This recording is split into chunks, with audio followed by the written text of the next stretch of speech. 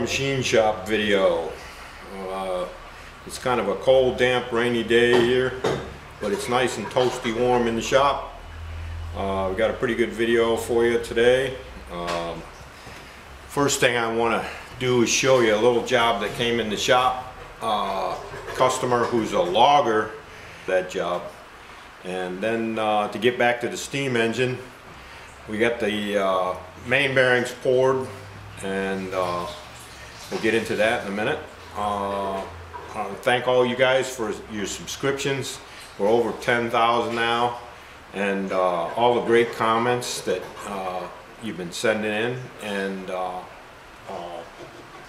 I got a little bit of viewer mail here from my friend Mike Waller who lives up the road a few miles, and he has a really great uh, YouTube channel, uh, British Motorcycles, and right now he's doing a series, and he's rebuilding a, uh, single cylinder BSA from the ground up uh, to make a trials bike out of it. And I call him the, uh, the live Chilton manual because he is actually putting this entire motorcycle together on the bench using, you know, just plain tools that everybody has or some special tools that he's made himself. And it's pretty interesting. I got a, I got a link on my G Plus page for it. Uh, it's Britannic Motorcycles, Mike Waller. Might be worth taking a look at. Oh yeah, This is a reversing switch. It's a drum switch uh, with an on-off. And uh, I told him I needed one for a little Atlas lathe that I'm putting together in Florida. So this will go down south with me and uh, go on that little Atlas lathe. Thank you very much, Mike. Well, we can't spend a lot of time yakking, so we'll get right to the machine work. Thanks again. This is the main bearing frame of the engine and uh, main bearing caps of course. Um, I'm going to remove all the babbitt and re-pour these bearings and the way I'm going to do it is I'm going to make a mandrel which is sort of a dummy for the crankshaft which will be uh, inch and three quarters uh, somewhat smaller than the crank and it's going to go through here and be suspended so the center of it is the right distance from the bottom and I'll show you how I calculate that calculated that when I get it set up to do it but we'll end up uh, pouring, I'm going to pour the bottom halves separate from the top. And uh, then when I get it all done, I'm going to bolt it together and line bore the whole thing to fit the crank. Um, the only boogaboo about that is there's a radius in here uh, on the thrust bearing. The crank just slides down in here, so there's just a little bit of end play. And I got to figure out with the with the boring mill I'll put the bar through here and, and make a tool with a radius on it that will just trim and cut this this uh, radius on this edge here and then flip the tool around and come back and back it into this one and, and cut this one and uh, the only problem I see so far is that you see there's a stepped edge on this here. It drops down in there. On this one for some reason somebody had uh, evidently the bearing was completely worn out and instead of repouring the bearing they cut this down uh, so that it would go down in there further after they pulled all the shims out of there and, and tightened down on it. But this this area right here has been evidently cut back and it leaves a gap in here. Uh, so what I think I'll do, I really haven't thought this through yet, but one way I can do it is to build this up with brass, braze it up, and then indicate on these edges here, out here, and uh, uh, and mill it flat. Probably do it in the shaper. Uh, Now, I've, I've already removed the Babbitt from this one and cleaned it up so you can see there, uh, when the engine was made, they just drilled a bunch of holes here on the top and the bottom by hand or whatever to kind of to anchor the Babbitt in there. The Babbitt doesn't actually have to stick to the, the part tinned out like lead. It's got uh, these holes in here which anchor it and keep it from moving around and the same in the bottom I think I haven't got the bottom uh, out yet but uh, so I'll show you a couple ways to get Babbitt old Babbitt out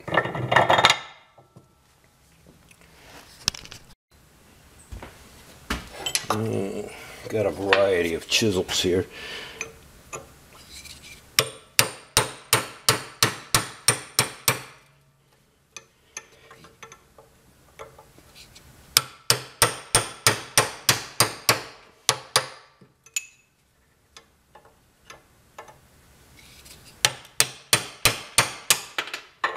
Oh man.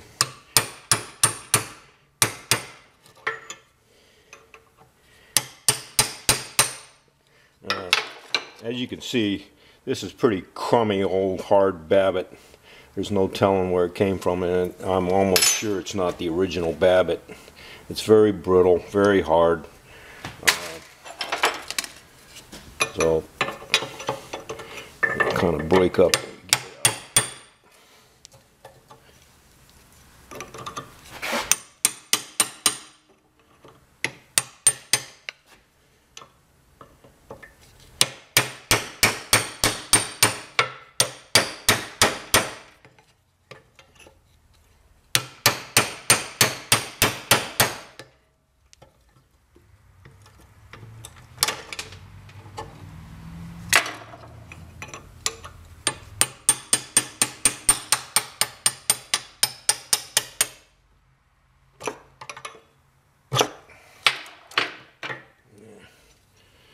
see the uh, anchor points there.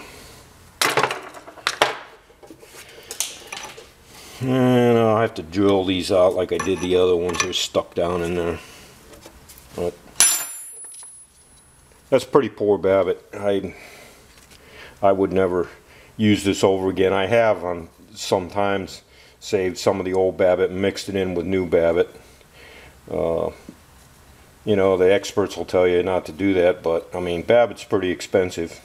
If it's on a line shaft or something that doesn't really matter that much, it would be fine, but I don't know what this stuff is.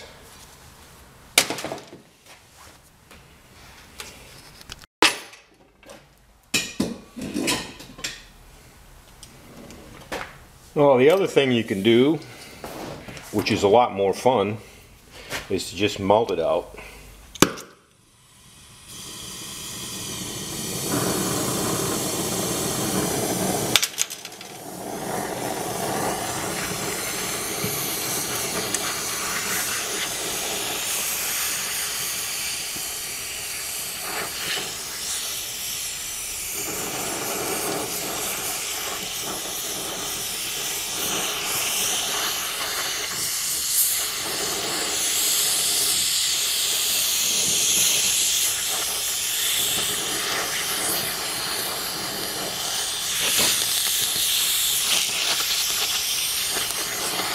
Most Babbitt melts at about 700 degrees. Not that it makes any difference really. But uh, the railroad got really cheap and started making it out of mostly lead.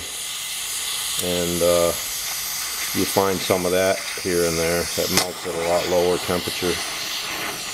But real Babbitt is like copper and antimony and tin. And tin got to be really expensive. So now Babbitt today you can buy it. You can buy it from McMaster Carr. They got three different grades depending on the load and the speed. And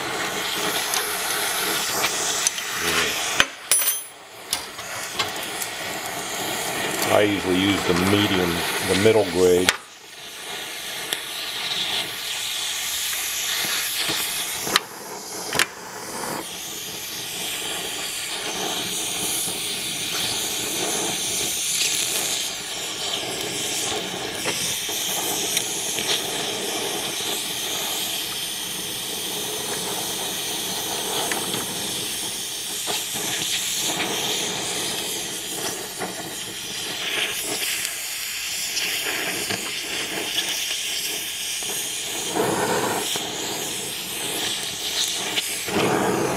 Anyway, that's how you do it.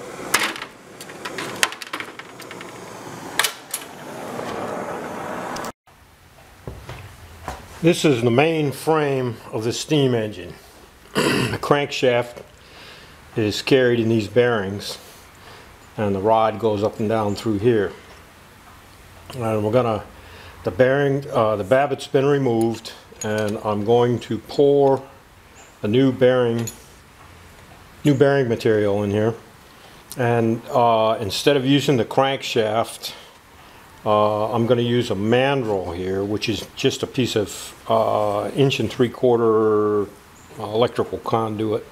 And uh, I like to use a piece of tubing instead of a piece of solid stock because it's easier to heat up, to warm up uh, when you pour and it cools quicker also. So what I did here was I figured out where the center line of the crankshaft uh, would be carried here. Before I took the babbitt out, I measured from what was left of the babbitt down to this lower surface here and uh, uh, calculated approximately based on uh, about 30 thousandths wear, that'd be 15 thousandths on the side, uh, where the center line is.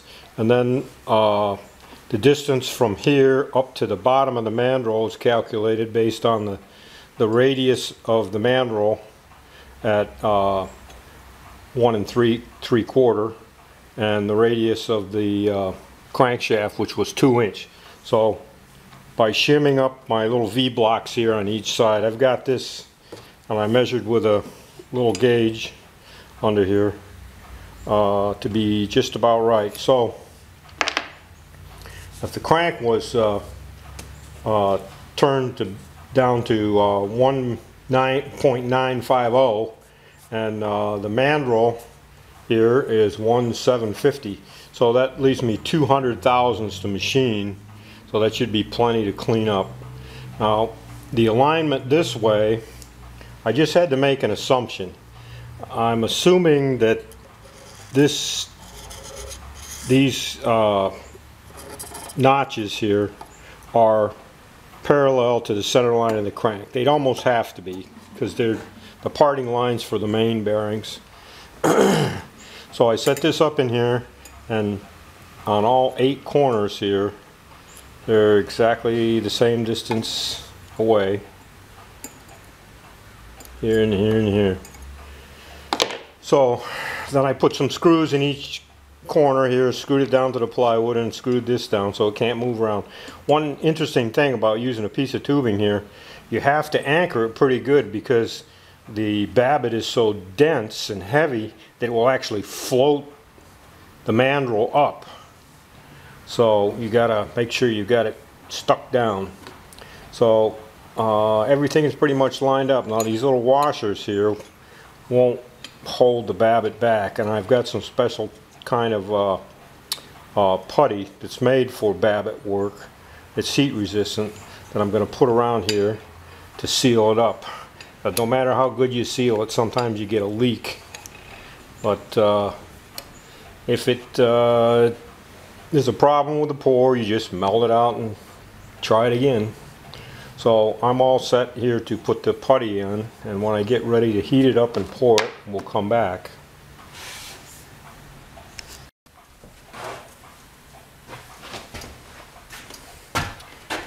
This is my setup for pouring Babbitt. Shows you you don't have to have anything really exotic here. This is just a wok thing that I bought at the store and an old hot plate. um, the Babbitt that I'm going to use is all new Babbitt. Uh, I bought this from McMaster Carr. And this is a couple years ago. This was $37 worth. Uh, I usually mix it, cut it a little with some other used Babbitt. This is uh, old Babbitt that I saved out of different things. And this is some unknown Babbitt.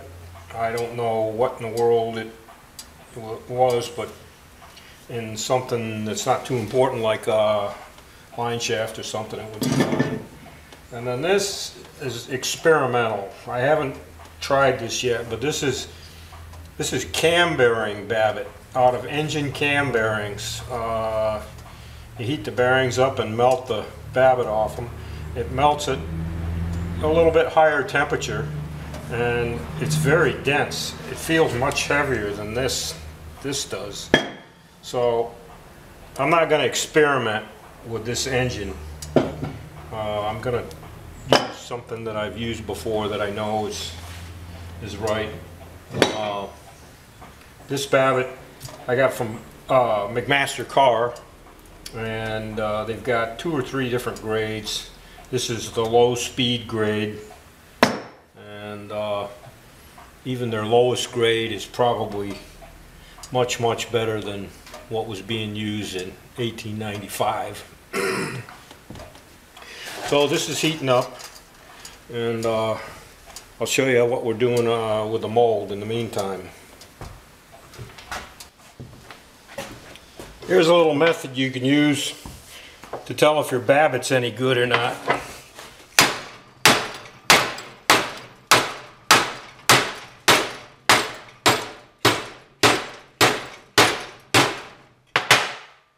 That's good stuff.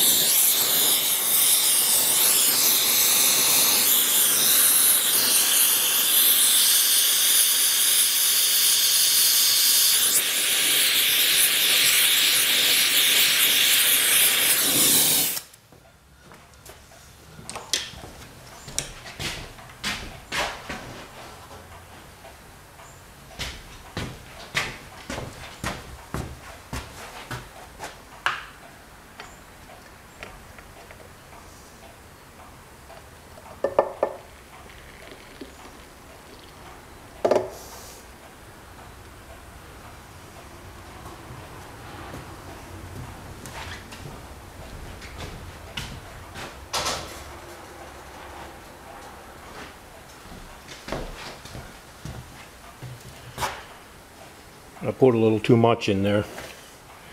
I really didn't want to get it above that because I got to remove that, but that's okay. I think that's a good fill. Try the other side.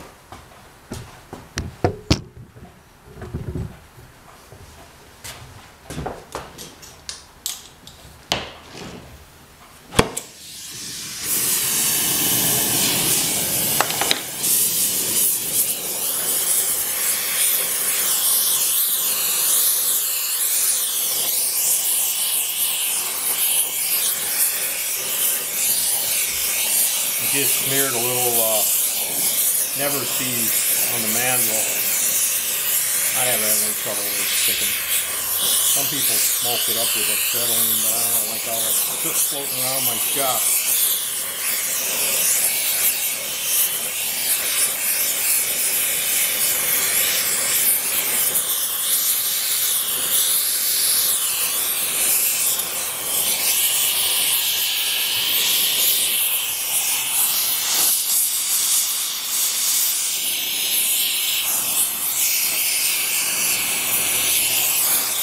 I've been trying to heat the mold less and pour the babbitt a little hotter.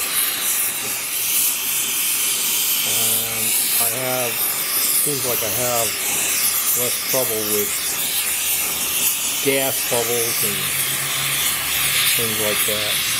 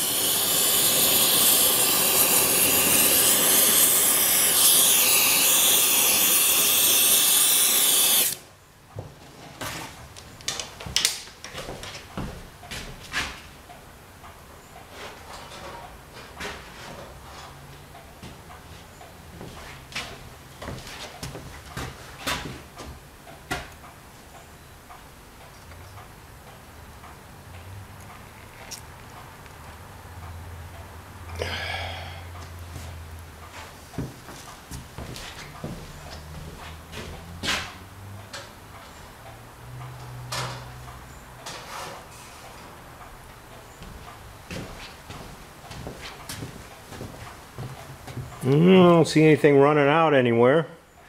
We'll let it cool down and check it. I took the putty off. You can use this stuff over. A lot of times you buy one box of it and you got enough to last you forever.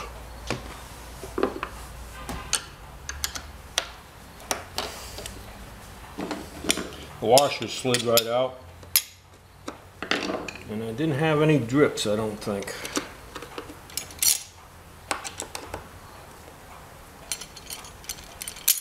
Just always nice.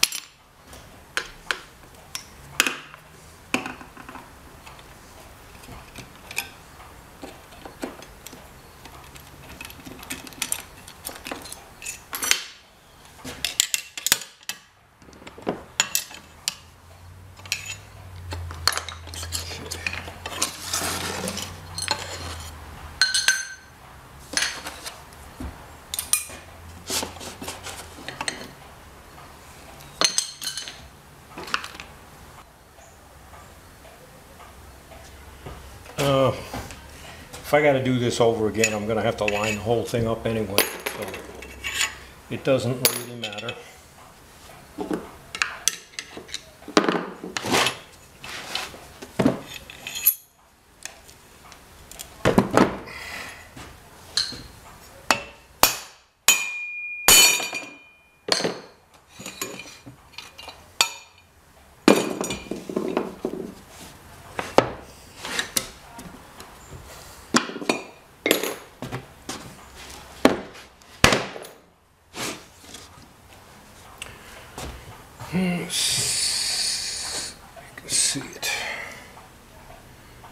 Pretty good pour.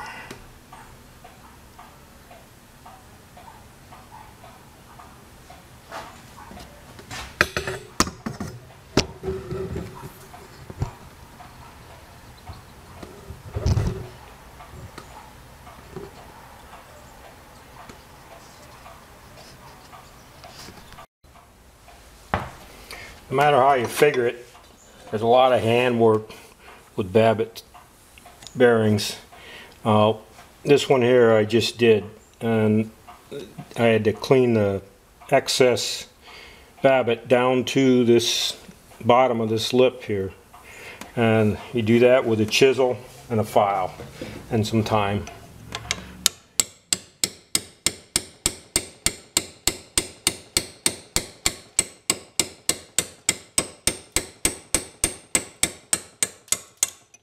Got to be a little careful when you get over near the end that the end doesn't chip off.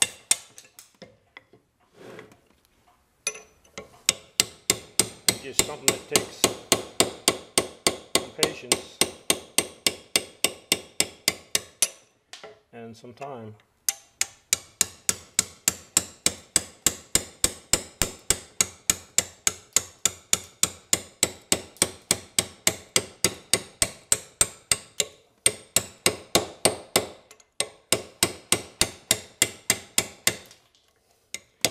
Of course, you save all the chips and put them back into Babbitt pot.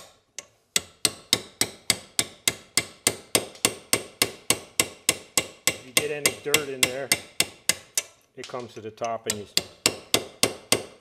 take it off with a dross.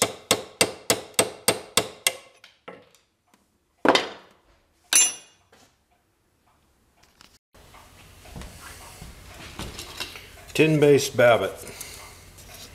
It's what's for dinner.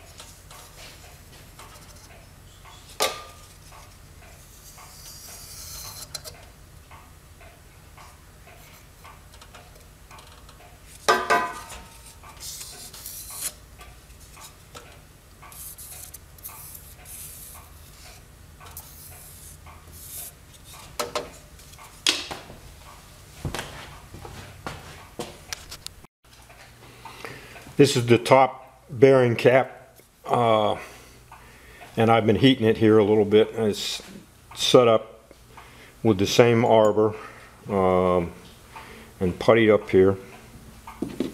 Got just a little bit of Never-Seez smeared around on this to kind of help it release.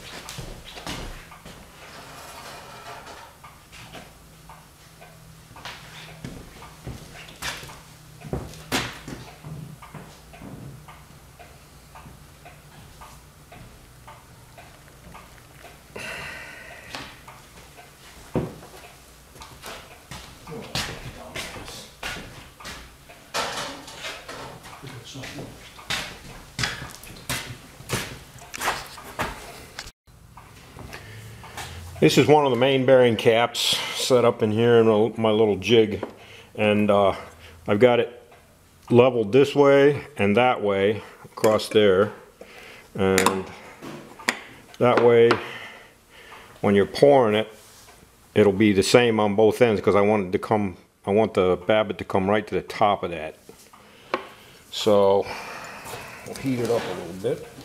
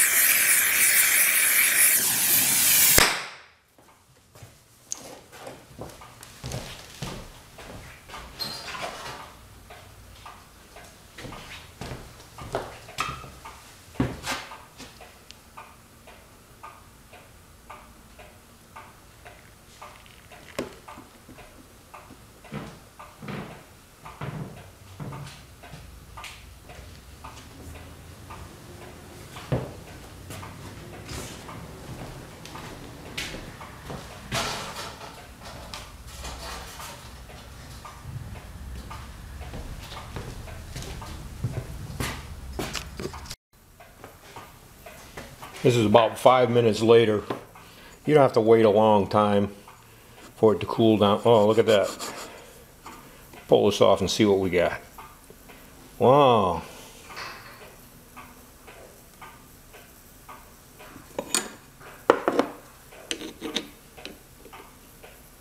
Got a void up here because a piece of putty, a piece of putty got in underneath the washer on the end.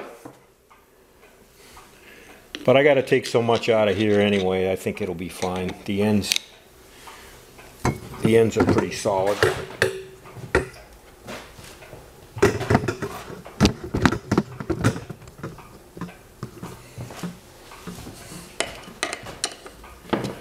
Oh, that's something you don't think about.